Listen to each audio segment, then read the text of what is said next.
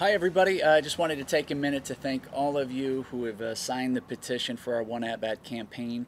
I cannot believe the amazing response it has received. Uh, I think we're like that close to hitting 18,000 in just a matter of a couple of days. So thank you guys. We're working hard on this thing, and um, I know the general manager of the Cubs yesterday came out and said that they're not interested.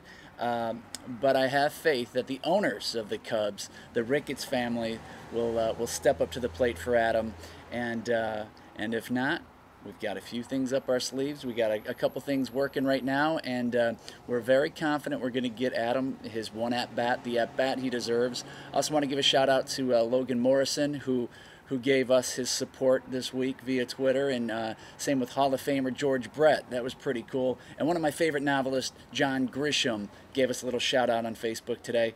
You guys, this is awesome. Thank you for your support. Please keep checking in and please keep spreading the word. We're going to get Adam that one at bat.